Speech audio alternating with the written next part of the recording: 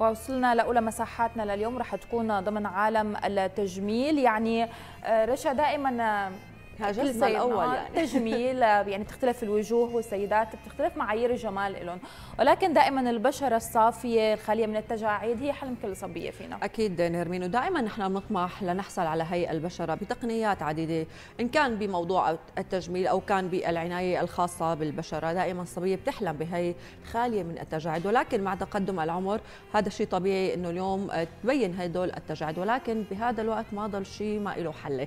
خلونا نكون بأول فقرات حلقتنا لنعرف أكثر عن تقنيات العناية بالبشرة وعدم ظهور التجاعيد ضيفنا لليوم هو الدكتور أحمد صالح أخصائي بالأمراض الجلدية والتجميلية. يسعد صباحك حكيم وأهلا وسهلا فيك. يسعد صباحكم صبايا وصباح مشاهدي الإخبارية الأفاضل. يسعد صباحك دكتور واهلا وسهلا فيك. البوتوكس يمكن صار معروف لدى كثير شريحة من الأشخاص واستخداماته صارت واسعة. ولكن خلينا نرجع هيك نجدد التعريف فيه ونعرف المشاهدين أكثر شو هو البوتوكس تماما. هلا بداية آه، جواز سفر الأنثى بهالعالم هو جمالها وشئنا أم أبينا نحن هلا بعصر الميديا والإعلام والكاميرا والصورة وتحديدا الصورة. للأسف اللي عم يتحكم بمعايير الجمال هلا هو الفلتر وتعديلات الكاميرا والسناب شات وهالقصص. صحيح. لحتى يكون هذا الشيء حقيقي بيجي دورنا هون نحن كأطباء جلدية وتجميل لنضوي على الشيء الحلو بوجه الصبية. آه عندها défaut خفيف بنحاول نصلحه. بنعطيها النصائح البدائية مثلا كيفية التعامل مع البشرة وصولا لعمليات ال injections بالعيادة والليزرات بأنواعها. وانتهاء بالتشارك مع أطباء جراحة التجميليه بشغلات جراحية بنضطر الأمر. تمام. هلأ البوتوكس كتعريف جوابا على سؤالك هو مادة تستخلص من آه، زيفانات بعض أنواع الجراثيم. لها تأثير آه، شال وعكوس على العضلات. بنستخدمها نحن لشل العضلات التعبيرية اللي بتطلع مع تقدم العمر. آه، طبعا بس مشان لا نخوف العالم يعني إنه بيقولوا شلل عضلات وكذا هو شلل مؤقت, مؤقت. وعكوس. بيستمر فترة من أربع لست شهور. ومنعالج فيه أو بنصحح فيه التجاعيد التعبيرية اللي بتطلع بال reaction ات. كتر الزور مثلا آه، العضلات آه، زاوية العين. لاي حاجب اعلى من حاجب بوضعية الزور على طول مثل تماما. إيه عضلات الجبهة بتبلش تطلع هي التجاعيد المزعجة اللي بتعطي عمر للمريضة. هلأ في ناس آه، بتفتكر إنه التجاعيد لها عمر معين. يعني والله أنا طلعت فوق ال 40 أو طلعت فوق ال 50 هذا الحكي منه صح. التجاعيد هي مشكلة ممكن تطلع بأي وقت. آه بالاضافه إنه في شيء اسمه العمر الزمني وفي شيء اسمه العمر البيولوجي. العمر الزمني مثلا أنا عمري 50 سنة. كسنوات. العمر البيولوجي إنه أنا شكلي قد إيه بيعطي. يعني هلأ بتجيكي مريضة على العياده عمرها 50 سنة ما بتعطيها أكثر من صحيح. 30 تجيكي مريضة عمرها 32 سنة بتحسي إنه حضرانة ثلاث حروب عالمية مثلا تجاعيد وترهلات بوشها. إيه هذا الشيء يعني نحن بنبلش ندخل مادة البوتوكس. بحقنا بنقاط معينة لتفرد هي العضلات وتعطي منظر أكثر شبابا. طيب حكينا عن آلية عمل البوتوكس وحكينا عن تعريفه شو هو بيتكون؟ خلينا نحكي عن آلية عمله ضمن الوجه. نحن كيف قادرين نوزع اليوم إبرة البوتوكس لنخفف أو نعطي حالة شلل مؤقت؟ وممكن بخارج الجسم نحن بنعرف كمان تحت الإبط ممكن ينعطى البوتوكس. تماما. هلا البوتوكس يعني استخدامات علاجية عشرات الاستخدام الاستخدامات العلاجية. أول ما استخدموه استخدموه لعلاج الرأرأة، شلل العصب الوجهي. بالتجميل بالجلدية والتجميل في أكثر من مجال. اولا علاج التجاعيد اللي مثل ما حكينا بتطلع مع تقدم العمر. لعلاج فرط التعرق اللي هو مشكلة كثير كثير مزعجه للمريض خاصة اجتماعيا. يعني صحيح. حتى أحيانا ممكن تمنع المريض إنه يطلع ويتحرك ويمارس حياته الطبيعية تكون محرجه له تماما يعني بتشكل له إحراج كثير كبير البوتوكس سحر لهي لهي القصة بس مم. بالأساس هو علاجه للتجاعيد اللي بتطلع بال reactions بردات مم. الفعل في صبايا مثلا بيحركوا كثير بوجوههم يعني بيعبروا كثير بيعبروا كثير بيزوروا كثير بي بيبتسموا كثير تماما. حتى ف... الابتسامة بتعمل مشكلة كثير كمان. تماما. مع تقدم العمر كمان بيخف الكولاجين إنتاج الكولاجين والإلاستين كمان بتعطي كرنشة للجلد. أو إذا وحدة عاملة diet أو شيء كمان بتبين هي التجاعيد. البوتوكس إذا انحقن بإيد خبيرة طبعا في مناطق معينة بنحقن فيها بتعمل إرخاء للعضلات وبالتالي هي التجاعيد بتزول. وبتعطي مثل ما حكينا منظر آه، أكثر شبابا. فترة البوتوكس هي من أربعة لست شهور. بيتراجع بشكل نهائي. آه نحن بننصح بالحقن بأي عمر. يعني لما بيكون في استطباب للحقن بنحقن سواء بعمر ال20 أو عمر ال30 أو أو بأي عمر ممكن. متى ما هلا طبعا هذا موضوع شخصي كمان. يعني في ناس ما بتت... ما بتتضايق من التجاعيد في ناس متى ما شافت خط بوجهها فورا لعند دكتور التجميل. صحيح دكتور ويمكن هي الحالة بتسبب نوع من الهوس يعني كمان نحكي عن قديش ممكن نحن الفترة الزمنية المناسبة لإعادة الحقن بالبوتوكس رح نحكي فيها ولكن قبل خلينا نحكي عن الأشخاص يلي بيقدروا يحقنوا البوتوكس مثل أي إجراء طبي أو تجميلي في أشخاص بيقدروا يحقنوا البوتوكس وبتكون النتائج أحلى دائما وأسهل يعني بتطلع فورا أو بتظهر بشكل جمالي أكثر من بعض الأشخاص. شو السبب برأيك؟ هلا إذا حكينا كاستطبابات فهو الموضوع رغبة شخصية ما أكثر يعني استطباب علاجي للبوتوكس كتجميل ما في. أما هو استطباب شخصي إنه أنا هي التجاعيد ما بحبها مثلا. وكمضاد استطباب ما في أي مضاد استطباب مين ما كان بيقدر يحقن تمام. طيب دكتور دائما بس ذكرت نقطة نيرمي بنشوف شخصين عملوا البوتوكس ولكن حدا نجح أكثر من حدا. يمكن عمق الحفر تبع التجاعيد له علاقة أو نوع المادة أو الطبيب يعني؟ أو نوع البشرة ممكن. أنواع البشرة يعني. هلأ كل اللي حكيتيهم حضرتك وتفضل تفضلتي فيهم كلهم لهم علاقة quality البوتوكس شغلة كثير أساسية. هي شغلة. الشغلة الثانية آه، نقاط الحقن. يعني مستوى عمل البوتوكس هو مو على الجلد هو على العضلات. مثل ما حكينا فلازم يكون الحقن ضمن العضلة. وبأماكن آه، محددة حتى ما يصير deviation بالوش مثل ما تفضلتي حاجب بيطلع حاجب بينزل. ف آه، والمهارة طبعا مهارة الطبيب لها دور كبير. يعني في صبايا مثلا ما بيحبوا إنه يطلع حاجبهم أو يعطوا نظرة الشر هي اللي في ناس بيحبوها. يعني الموضوع شخصي.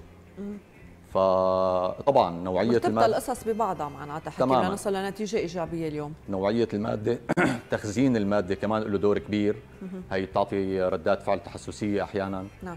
هي شغلة كثير أساسية. تبريد المادة يعني البوتوكس لا هو عبارة عن فيالة فيها بودرة لازم تنحفظ بالثلج بحراره آه، تحت الصفر.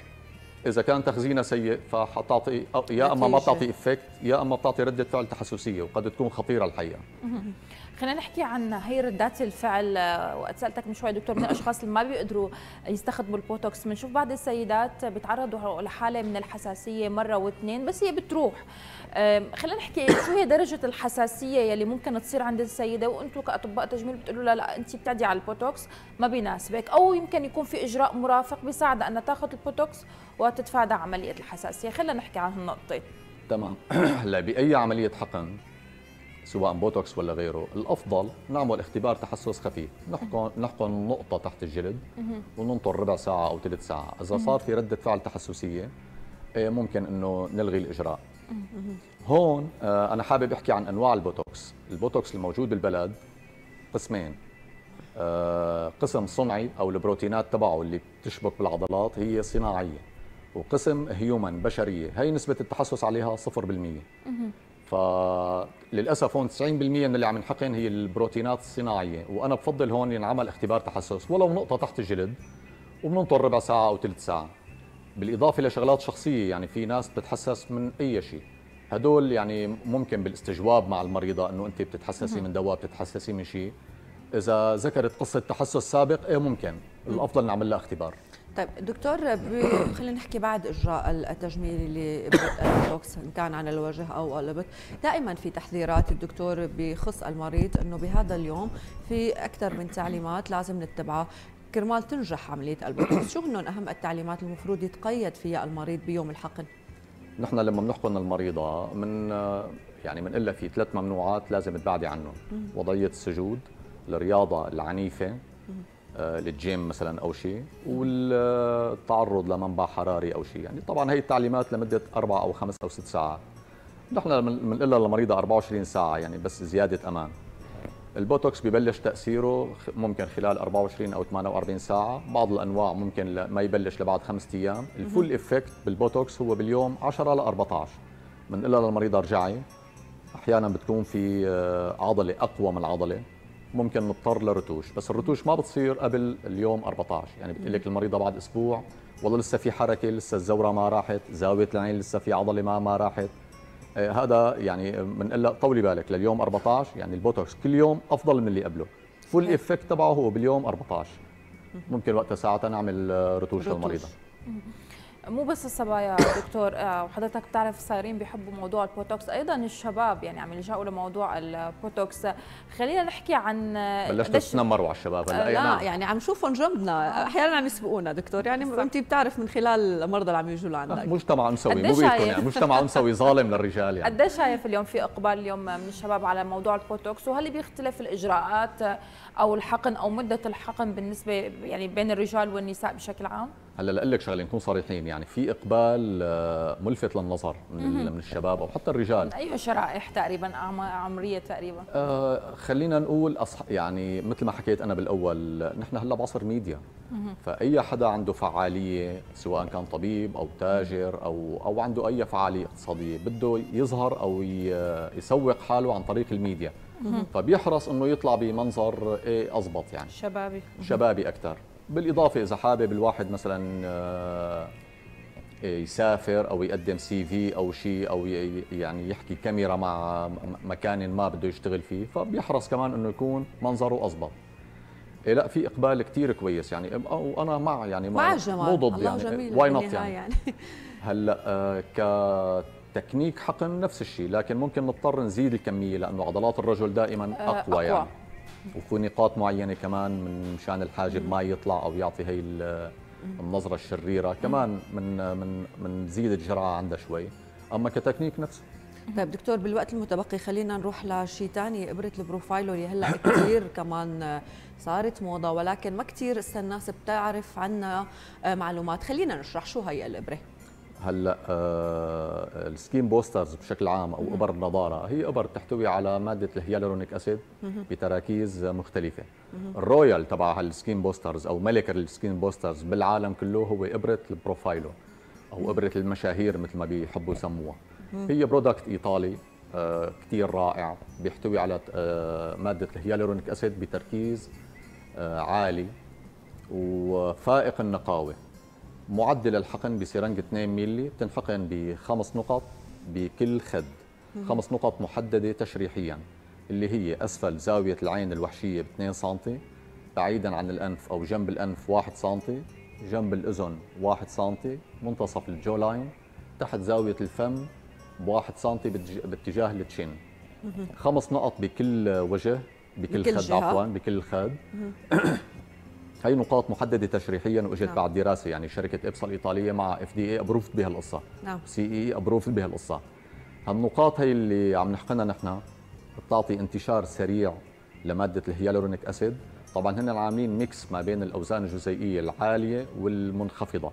هذا الشيء أو هال mix هذا بيشتغل على أكثر من level بالبشرة. شو بتعمل هي الإبرة؟ بتعمل ترطيب مستمر. للبشرة. ترطيب ونضارة مستمرة بتشعر فيها المريضة. آه بتعطي شد للوجه.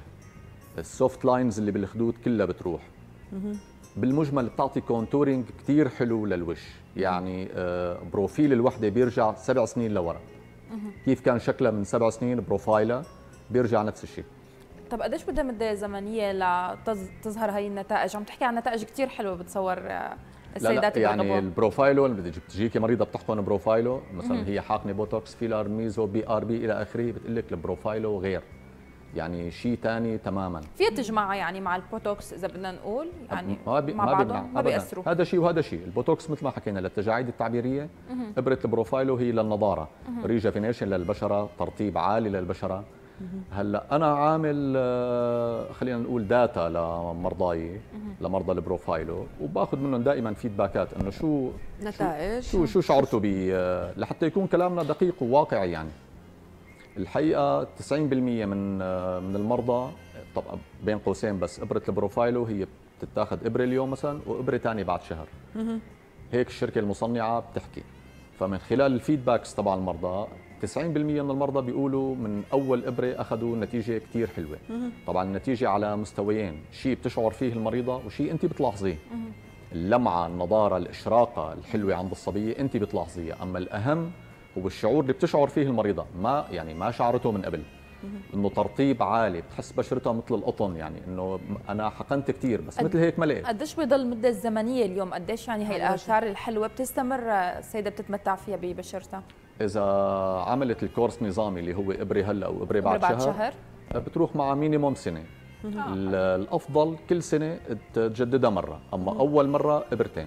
طيب بس تخلص السنة يعني فجأة الواحد بفيق بلاقي حاله إنه كبر سبع سنين. لا اطلاقا لا. يعني هذا الموضوع سواء ال Profhilo ولا ده البوتوكس الاثاره أكيد طبعا يعني. يعني أثر تراكمي. هلأ مثل حقن البوتوكس عودا. على بدء. في فكرة مغلوطة إنه والله أنا حقنت إيه okay أول مرة ثاني مرة. طب لما ما قررت ما أحقن.